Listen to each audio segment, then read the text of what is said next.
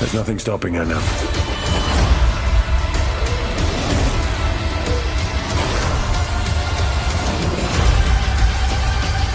All I want is your blood. Come and get it.